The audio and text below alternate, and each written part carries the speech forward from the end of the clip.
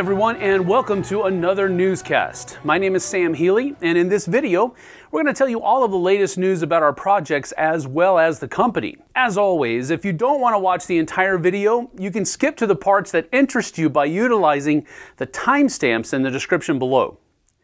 This week, we don't have any further information on Time of Legends Joan of Arc, Reichbusters, Project Vril, Enchanters, Steamwatchers, or Darkest Dungeon, the board game.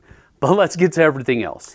For Solomon Kane today, just a short update to say that QML has received all six containers of product at this point and has continued the fulfillment process by sending out the address verifications to the rest of our backers in North America. There was, however, a slight confusion in their wording of said emails. These verifications are not for Wave 2 of Solomon Kane. Their wording meant to convey that they were ready to start the second wave of shipments in order to finish up Wave 1 fulfillment now that the rest of the containers had arrived. So we'd like to extend our apologies for the unfortunate wording of the email, but please realize it was an innocent mistake. As time continues to wind down for everyone receiving their copy, we'd like to point you to two more videos showcasing Solomon Kane. Becca Scott and her team have applied their talents to Solomon Kane with a very well produced how to play video in English, and Ludovox has done the same for Solomon Kane in French as well. So hopefully you'll be able to check those out and get a head start on familiarizing yourself with gameplay before your copy arrives. For Super Fantasy Brawl today, we first wanted to reveal the launch date for the Round 2 Pledge Manager on GameFound. The Round 2 Pledge Manager and Late Pledge window opens on April 14th. Now, if you backed the Kickstarter campaign, the Pledge Manager is where you will finalize your pledge, providing your mailing, mailing address and pay for shipping. Upon logging into your GameFound account, you'll find credits equal to the amount that you paid during the Kickstarter campaign already in your cart.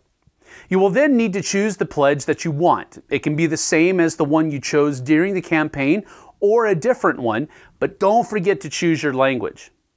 You then have the option to select any number of add-ons and additional pledges that you wish to include in your order.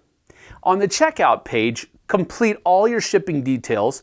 Please also add your phone number as we cannot ship items to you if we don't have that. Here, you will be informed of the shipping cost of your items as well. If the total cost of your items in your cart exceeds the amount you pledged on Kickstarter, which is represented by the credit you have in your cart, then you have to hmm, then you can pay the difference when you check out. All products and add-ons from the campaign will be available in the Pledge Manager at the same price. We also wanted to let you in on something about which you may not have been aware. Now, we all currently live in a weird time when spending an evening with friends around a table in person is complicated, to say the least. This could make Super Fantasy Brawl less accessible, but fortunately, Tabletopia and Board Game Arena both host a digital free version of the game. The Tabletopia version has been around for quite a while, and we've actually held online tournaments there. The Board Game Arena version, though, was only recently announced. But we've just added the final round 2 expansion, Radiant Authority, to the BGA roster, bringing the total number of champions available there to no less than 21. On April 2nd, the BGA roster will be complete with the addition of our beloved Forces of Nature expansion. Now, to get started playing the game for free, just follow the links in the description below for each platform. We've already put the BGA version through alpha and beta phases to work out any bugs, but should you encounter a bug of some sort on BGA, you can report them by typing bug with a colon in the chat, followed by your experience. Then click report, and it sends a bug report to the developers. Now, we're absolutely delighted that the game is playable in those two places. It enables you to test it out before deciding whether you want to play it physically. And it's a great place for us to organize play until the current health crisis resolves and brick and mortar stores open back up. Hopefully that's just right around the corner, but until then, we'll see you in the digital arena. This week, we'd like to continue our review of the visual artists involved in the universe of HEL the Last Saga. Chances are you've already come across the work of today's artist, Georges Clarenko.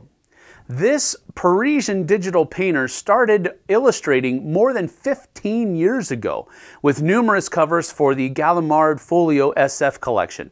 And he has since put his talents to work for publishers like CMON, and Monolith. If you're into adventure board games on Kickstarter, your characters have probably already ventured onto the tiles he's made for titles like Rise of Moloch, The World of Smog, Conan the Board Game, Mythic Battles Pantheon, or Batman Gotham City Chronicles, just to name a few.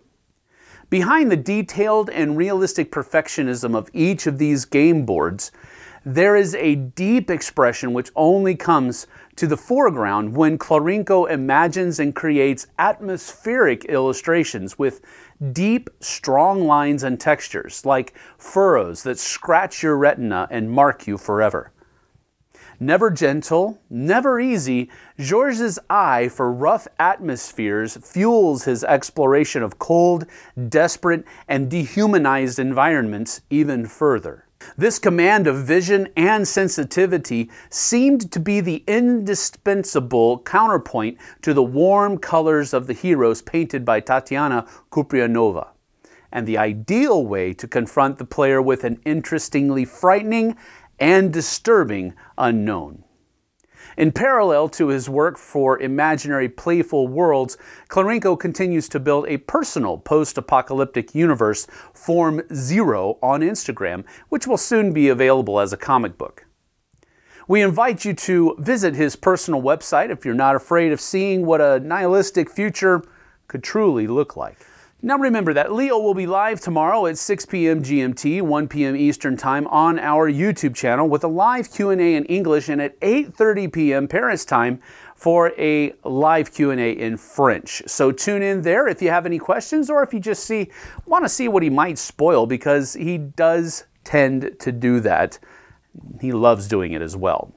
But that's it for this week. Stay home, stay safe. Play some games while you're at it. We'll see you on the flip side. Take care.